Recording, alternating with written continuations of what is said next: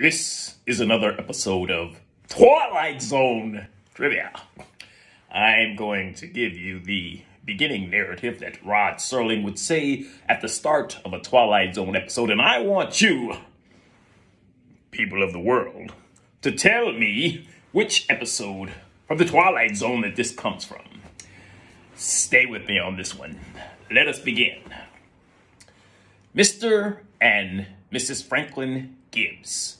Three days and two nights, all expenses paid at a Las Vegas hotel. Won by virtue of Mrs. Gibbs' knack with a phrase. But unbeknownst to either Mr. and Mrs. Gibbs is the fact that there's a prize in their package, neither expected nor bargained for.